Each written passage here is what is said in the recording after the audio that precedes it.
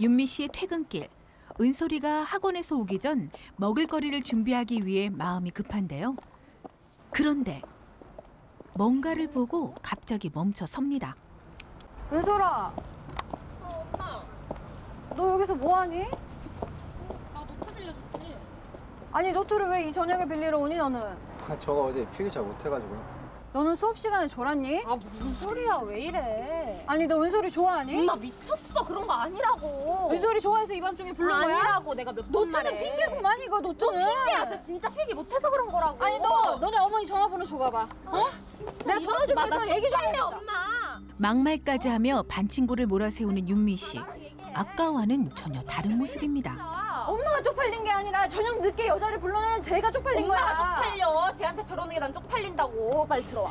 제가 쪽팔린 거라고. 아니라고. 딸의 말은 들리지도 않는 듯 남자친구냐는 추궁이 멈추지 않는데요.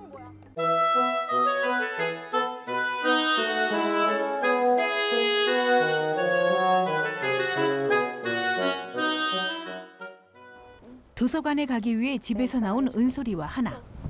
진짜 들키면 안 돼? 아 당연하지. 믿는다. 어, 이따 연락해. 그런데 문 앞에서 두 사람이 헤어집니다. 은솔이야 도서관 가는 거 아니었어요? 사실 다른 약속이 있어서. 무슨 약속이길래 엄마한테 거짓말까지 한 것일까요?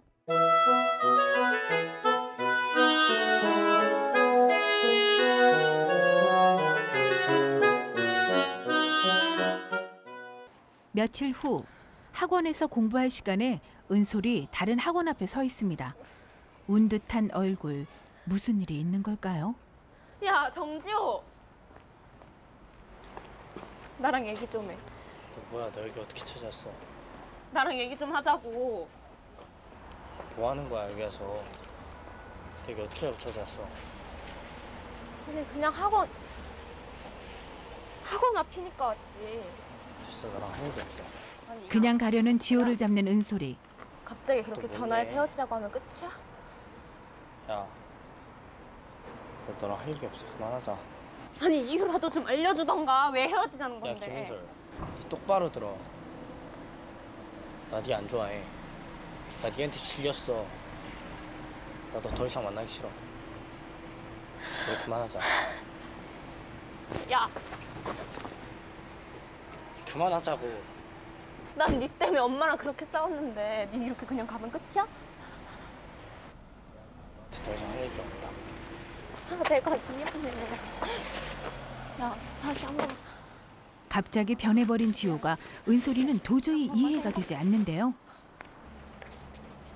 그만하자 할래 야, 내가 미안하다고 했잖아. 내가 미안하다고. 미안해? 왜 미안한진 알아? 냉정하게 가버리는 지호.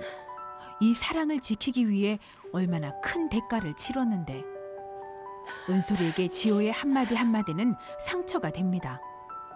차라리 이유라도 알면 인정할 수 있을 텐데 아직도 이 상황이 믿기지 않습니다.